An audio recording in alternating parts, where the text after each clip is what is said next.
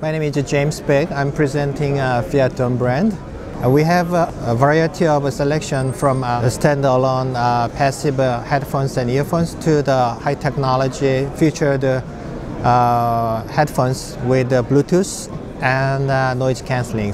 So this is the latest model we launched last month at CES in Las Vegas.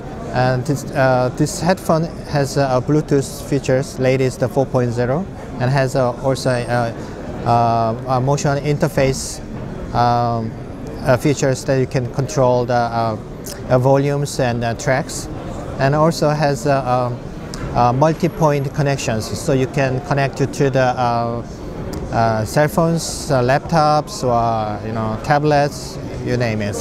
And uh, also we have a best-selling products is with a Bluetooth headphone with the noise cancelling.